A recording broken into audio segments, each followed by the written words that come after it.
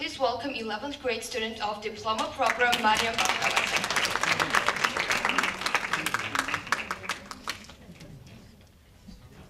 So, going out whenever, wherever, and with whomever you want.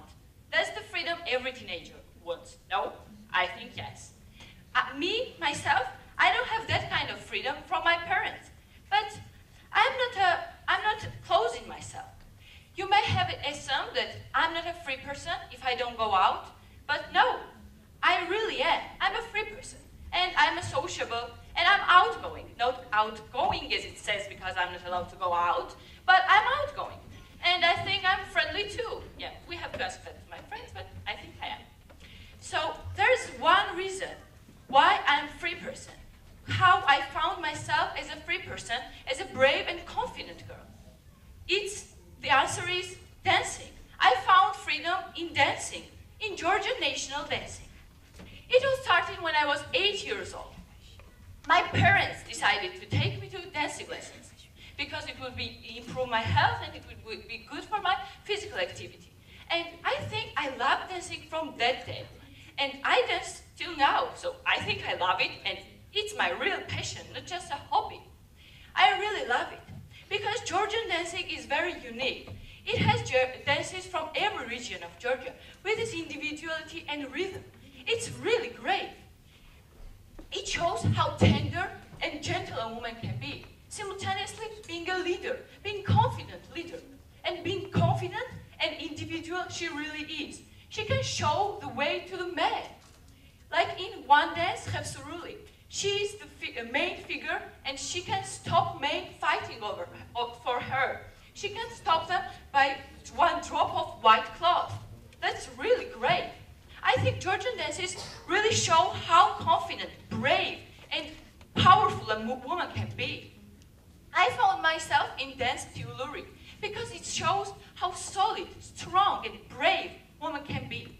I found that woman can move freely. She can do whatever, whatever she wants. It's not now. It's not just about going out. It's just it's finding new new self.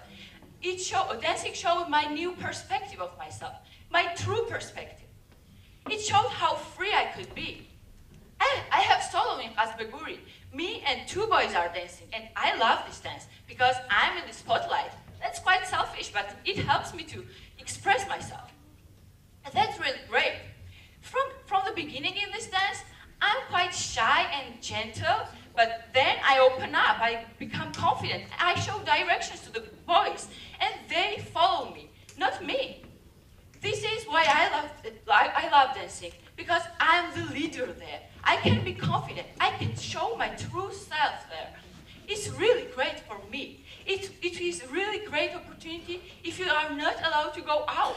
You should try to find your passion. Dancing is my real passion. It's not just a hobby.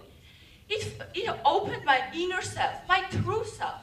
This is really, really great opportunity to find your passion. Go and try to find passion in yourself or outside yourself. There is something that will solve your problem, like me. This, this is the greatest thing. So I encourage you all to start and find answers to the problems, answers to your questions, and solutions to your problems. This dancing helped me to come out from my cage that my parents gave me. But now I'm a free person. I'm a, I'm a brave person. I'm a confident woman. That's why I'm standing here. I wouldn't be, be here if I wouldn't be confident. I think dancing really helped me. So I encourage you all to try to find your passion. Try to find solution to your problem. If I could do it, so can you. Good luck in finding your passion and thank you. Mario, please don't go out of the stage.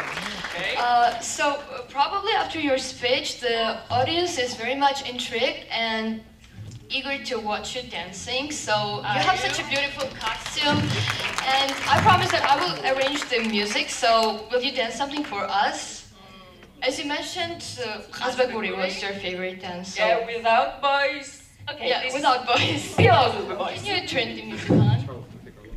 Thank you.